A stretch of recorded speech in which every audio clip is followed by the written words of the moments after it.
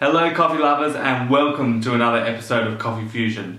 This week we're going to look at what goes into making a great shot of espresso.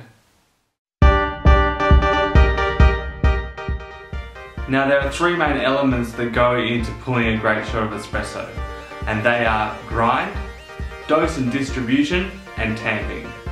Let's first off look at the grind. So guys, first thing I want to talk to you about is the grind and also the coffee. I mean more importantly, you have to start with really good fresh roasted coffee. So if you're currently just buying your coffee from the supermarket, I would really recommend you watch uh, a few episodes of Grind on Demand and find a coffee that you think sounds great to you and buy some freshly roasted coffee.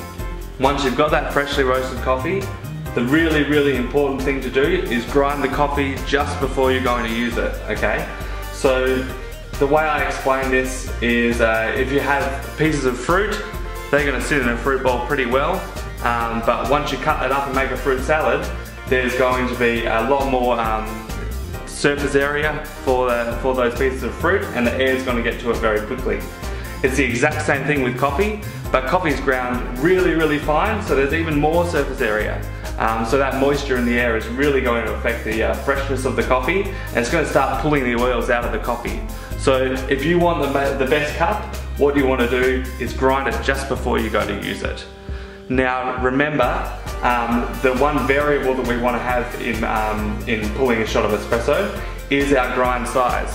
So we're going to adjust that as needed so that we can pull a really good shot.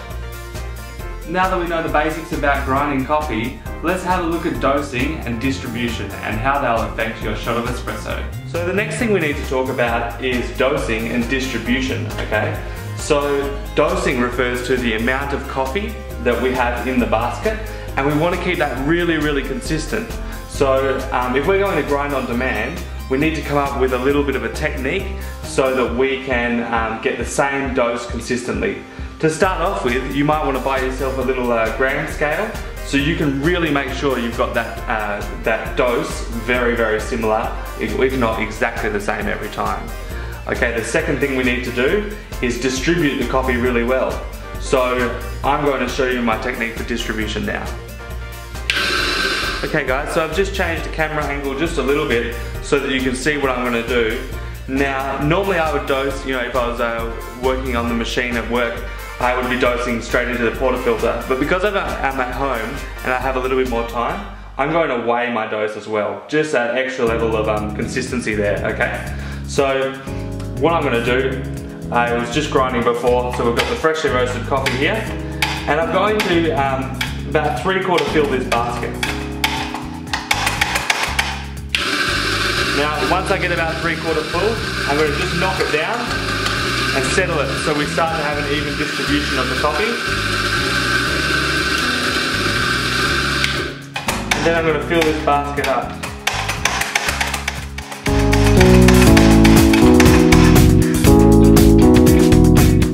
Okay, so we're at 17.9 uh, grams there, so I just need a little bit more coffee. Uh, remember the recipe that I like to go with is uh, starting with 19 grams.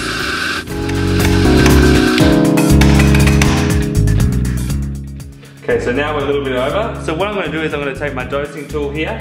Um, if you don't have one of these, you can just use the uh, flat side of a knife. Um, that's another technique. Now I'm going to chop this across so that we even out the coffee.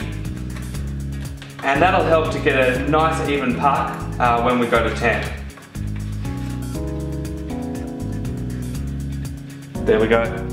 Now we've ground our coffee, we've dosed and distributed well, now it's time to tamp the coffee. Now, a lot of people think when they're tamping that they have to really get their arm behind it and push down really, really hard. But the most important thing when you're tamping is to get that really nice, flat, even puck, okay? So, I've got my tamper here. And the most important thing when you're tamping is to tamp with a straight arm and to tamp with your whole arm. So don't just tamp with your wrist like this, it's not going to be very even, okay? If you're having trouble tamping straight, you can use your thumb and your finger on the side of the tamper like this to help make sure you get a nice straight tamp.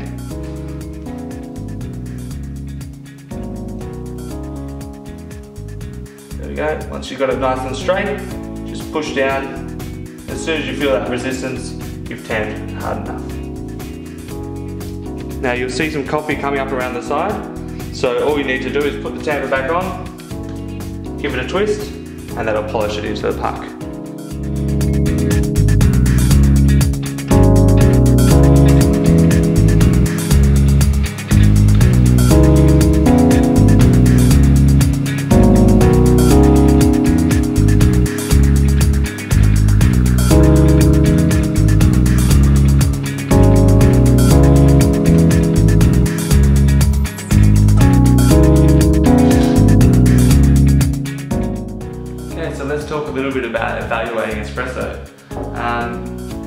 Now it's easier for me to talk about this coffee because I helped um, work on the blend. So this is um, Breeze, which is the seasonal um, summer blend for Jahava Koffee Werks, um, and I'm one of the roasters for that company.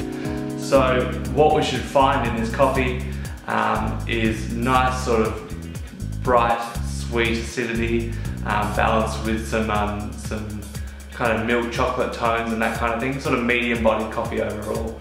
So if we've got the extraction right, we should see a nice balance of those things. Shall we begin?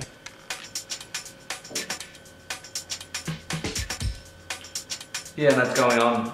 Um, we did design this blend um, with milk in mind and it does really um, work well with milk, but it's great as a black coffee. And um, I've talked before on uh, Grind on Demand about how sometimes you can get different, different things out of coffees uh, depending on how you brew it. And um, even if you're making a, flat white versus a long black. Um, and this coffee is great both ways. Um, I'm going to talk a little bit about um, adjusting the grind because that's something I didn't have to do in this video. But if you have a, um, a shot that extracts too quickly, you need to fine up your grind. So if you think of it like a bucket of rocks or a bucket of sand, if you've got a bucket of rocks and you pour some water on it, um, there's going to be quite a few gaps so the water can move through quite uh, quickly. And if you've got a bucket of sand and you pour the water on that, obviously it's going to kind of absorb and, and slowly move through, but it might not even make it to the bottom of the bucket.